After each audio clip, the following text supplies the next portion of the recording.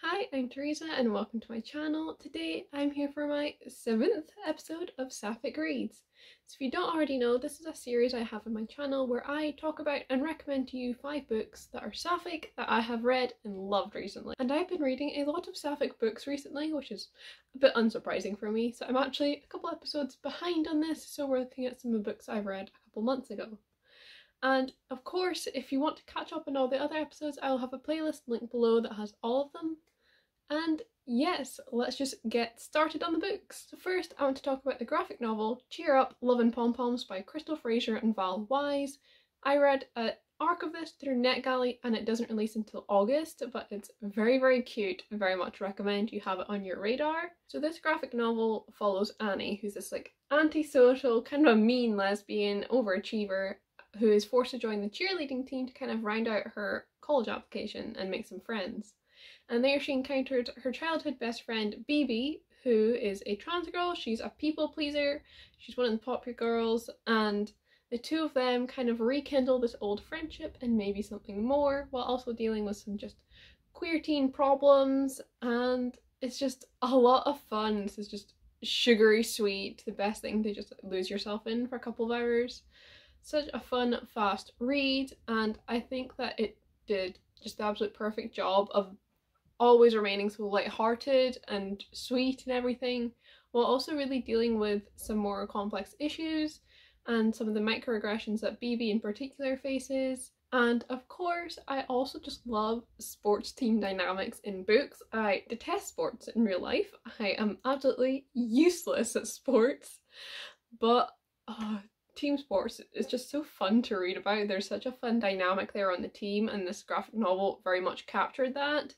And I just adored reading those scenes as well. And another thing that I really appreciated, and I've seen a lot of plus size people also appreciate, is that we have a plus size main character and other plus size characters on the cheerleading team, and they're never shown to like magically lose weight or anything as soon as they start exercising. You know, you're shown as being both fat and healthy, and that's just such a good positive message to have as well. And this book is just full of positive messages and just the power of standing up for yourself and owning that and oh it's so good. It packs a lot into a very very short story but it never feels rushed or anything. It was just an absolute joy to read. The perfect pick-me-up if you're ever looking for one. Next up was a bit of a change in pace and that was Malice by Heather Walter. So this is an adult fantasy and the first in a duology. This is a dark, sapphic Sleeping Beauty retelling told from the perspective of the Wicked Sorceress, but this is a kind of almost prequel to it, so you get her kind of descent into villainy and how Aurora comes to be cursed, and it's so, so, so good if you like morally grey characters, villain origin stories, and of course sapphic romance, then you will really, really love this. Um, we follow Alyce, who is the Dark Grace. In this world, there are Graces who have been given just a drop of power of the Fae, and this allows them to perform little magic tricks. But Alyce is a Dark Grace and the only one in existence because her power actually comes from this darker race of Fae who are believed to be extinct. And so she's very much ostracized from society, outcast, she's bullied. She's just not in a great place because her power can only be used for evil, and she's kind of dealing with this and reconciling this. But when one day she sneaks into a ball and she meets Aurora, the lovely princess, and they begin a friendship, uh, which eventually develops into something more, we really begin to see her questioning what she's always been told about her powers and trying to use them for good to break the curse on Aurora. Because Aurora's family line has been cursed so that every female heir, by the time she reaches 21, will die if she's not had true love's kiss. And this curse was placed on her by one of these dark fae, and so they think that because Alyce has the same magic, she may be able to break the curse. And we really just follow their relationship, this trying to break the curse, Alyce learning more about her magic, and it's just so good, so, so, so, so good, so fun. And I really love this kind of setup to our traditional story. And I think that the descent into villainy as well is just done so, so, so well. It's so believable. You so completely understand everything that Alyce is going through and why she makes the choices she does. The ending just blew me away. I I still think about it and it's been a couple months since I read it. It's just left me completely reeling. When I finished it, I had to sit there and just like process it for half an hour or so and just think like, what? Which was a bit of an issue because I had stayed up quite late to finish it because the last little chunk of this book was just a fair roller coaster. This is just oh, it's so so highly recommended. The romance as well is so well written and I'm like a little bit in love with Aurora as well. Like she's just this lovely idealistic princess. She loves her queendom. I believe that's a queendom rather than a kingdom. So so so much.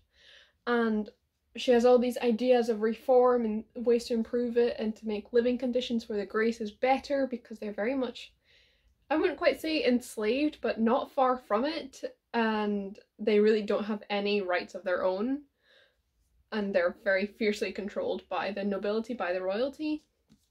And she's just got all these lovely ideas, and then they just bond so well, and oh, love it.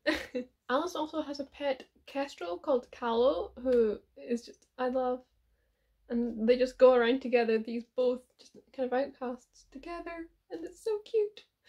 But yes, definitely if you like morally great characters and these examinations of villainy and monstrous and what it means to be a monster, you will really, really enjoy this one. It is so good. So next up I want to talk about These Feathered Flames by Alexandra Overy, which is the first in a YA fantasy duology and retells the myth of the Firebird and deals just with Russian folklore in general. And it is, again, one that I absolutely adored if you like complicated sister relationships, sapphic enemies to lovers, again, an examination of what it means to be a monster and really just intricate court politics, you will love this one. It is so, so, so good. And just by the way, if you have read it and loved it, you might want to keep an eye out on my Instagram next month because I get to reveal the cover of the sequel. And I'm very, very excited. It is so, so unbelievably gorgeous. Cannot wait to share it with you all so we can all just admire her. but yes, These Feathered Flames follows the perspectives of two sisters, twins, Asya and Izaveta. And these two were separated when they were children, as one goes on to become queen and stays in the palace, and the other one is taken away to learn the ways of the Firebird. And so we meet them just as their mother comes to an untimely death, which means that they will now ascend to their roles and they return to the palace so that Izaveta, who was left there to train as princess to become queen, is about to be coronated, and Asya inherits the full power of the Firebird. And so the Firebird is this power that she possesses and kind of takes over her in order to control how magic works in this world every time you cast any kind of spell there is a price and if you do not pay it you know it's usually like a bit of hair or if it's something more like blood or even limbs she will have to go and claim it if you do not pay it yourself as the firebird. And as such the firebird is a very complicated political figure because it's such an important part of their history but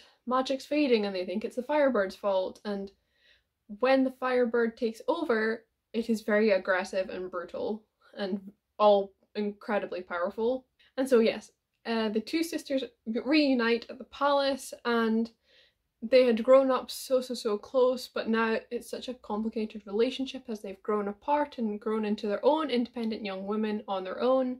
Izaveta has been so consistently surrounded by intricate court politics and betrayal and scheming, and she just doesn't trust anyone. And she's in a very precarious position and really needs to maintain her power and build up her court. And Asya is a complete outsider at court, no idea what, what's really happening, no idea how to deal with all of these scheming and betrayals that's happening. And we just follow the two of them dealing with this as and also kind of like solving some kind of mysteries and just dealing with these powers that they have come into, whether that is actual power as the Firebird or political power as the Ascending Queen. And yes, just absolutely incredible political intrigue.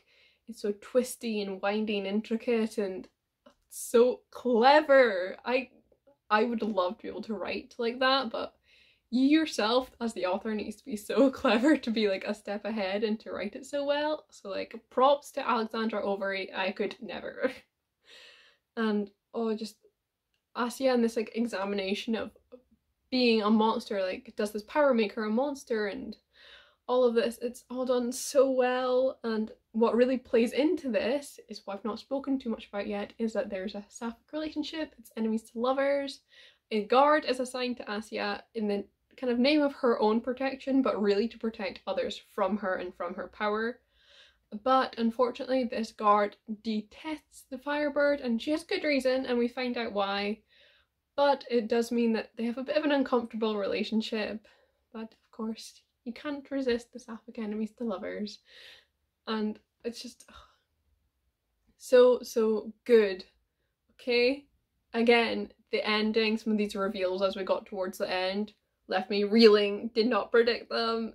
They're so, so clever because they made so much sense. Yes, um, as I've said, just complicated sister relationships, enemies to lovers, uh, bodyguard princess kind of trope, um, incredible political intrigue, this really, really lush Russian inspired setting. You've got bears you can ride. It's a whole time. It's so good, so fun. I definitely, definitely recommend it. And then next up are two books that I read for my Reading Twitter's favourite Sapphic books video. And the first of these is The Midnight Lie by Marie Rutkoski. So this is, again, the first a YA fantasy duology. I'm loving this shift towards duologies over trilogies. It, I'm, we're really seeing that a lot in this video in particular, but I'm liking it.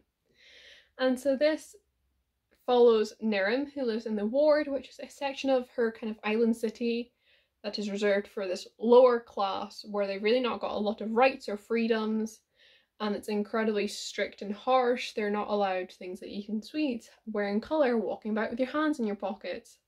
And when one day she is arrested for breaking one of these non rules and ends up in prison, she meets Sid. And so Sid is a traveller, which in itself is just so bizarre because this island does not get travelers.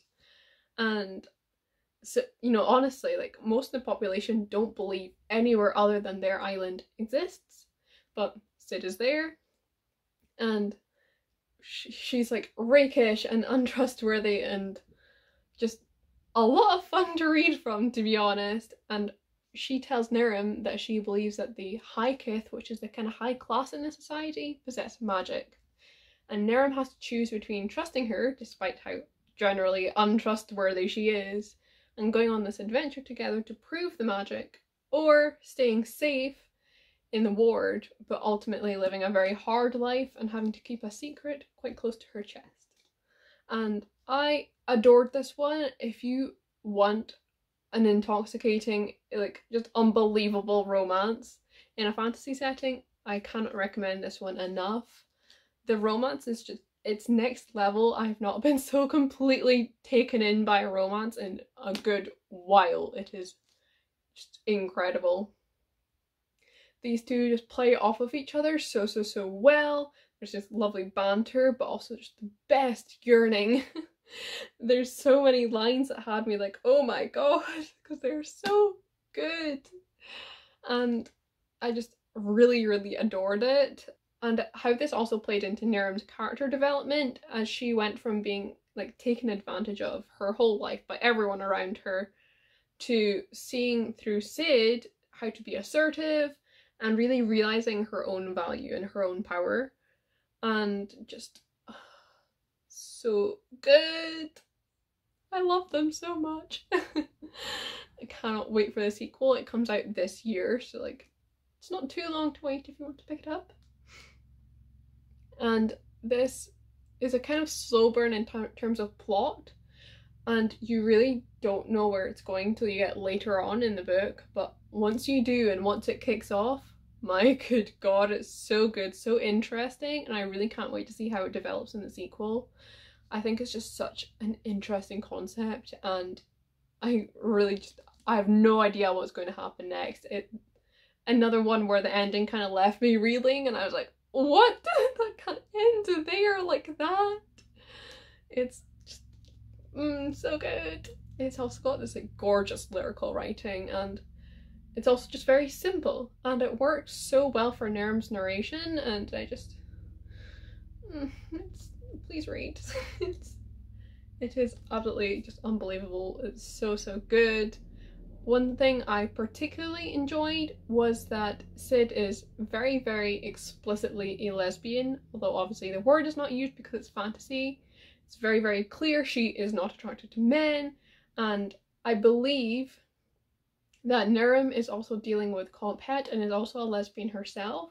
And even if, you know, it turns out she is bi, there is very much this discussion of Comphet and how that can affect you and the situations it can put you in and kind of unlearning it and dealing with it. And I just, it's done so well and it's so interesting to see in fantasy when we barely even get it like in contemporary and it's just so good, so well written right from the beginning and oh love it so so so much. So yes just before we get on to our last book i want to say that there are reviews for the four that i've spoken about on my goodreads and i'll link them down below just because they were all review copies other than the midnight lie but i wanted to review it anyway so i can request a copy of the sequel because i need some answers But yes, the final book I want to talk about is This Is How You Lose the Time War by Max Gladstone and Amal El-Mohtar. So this is a Romeo and Juliet retelling, but it is following two assassins on opposite sides of a centuries long time war. And that's such an interesting concept. This is a standalone, it's a novella actually, it's really short, it's like 200 pages. And it's got the most gorgeous, gorgeous writing and imagery and oh my god, it's is genuinely stunning. So yes, as we so yes, as I've said, we follow these two agents, there's red and blue, and they fall into correspondence with each other as one thwarts the other's kind of mission and leaves a note to taunt them. I get mixed up on who started it, but we follow like alternating perspectives, one and the other, and as this correspondence goes from this teasing and taunting to becoming something real and dangerous as they fall in love and even just these taunting letters would be enough to get them killed so this situation is very very precarious and we just follow them in all these different parts of time whether in the past or the future and just constantly constantly in love with each other falling in love through these letters and they're just so gorgeous I really wasn't sure if I would like this one. I was very uncertain about picking it up because I'd heard it was quite confusing. Sci-fi is not really my thing, but rest assured, it is um, incredible. And that's as someone who's not a fan of sci-fi, who really struggles with like complicated stories. I like to know what's happening. I adored it. I didn't find it too difficult to understand. I read it in what two days, something like that for the vlog, and I just I loved it so so so much if you like your sapphic yearning, you will adore this one. It's done so well. It's just so romantic and good and the Romeo and Juliet parallels. It's an absolutely incredible, incredible story and I cannot recommend it enough. I just, I need more. It is so gorgeously written. And yes, that has been the five books I wanted to talk to you about today. I hope that you'll consider picking some of these up. I cannot recommend them enough. I really adored them. They're all four or five star reads and I just love them so much. yes, as I've mentioned, you will find links to reviews on Goodreads down below, as well as just general Goodreads links. You will find my social media, especially that Instagram if you want to see the cover of the sequel to These Feathered Flames next month. And you will also find my bookshop affiliate link if you fancy doing some book shopping and supporting me, the environment, and independent bookstores. And I really do recommend them as a good alternative to Amazon. And yes, thank you very, very much for watching. I hope you have enjoyed, and I'll see you with another video soon.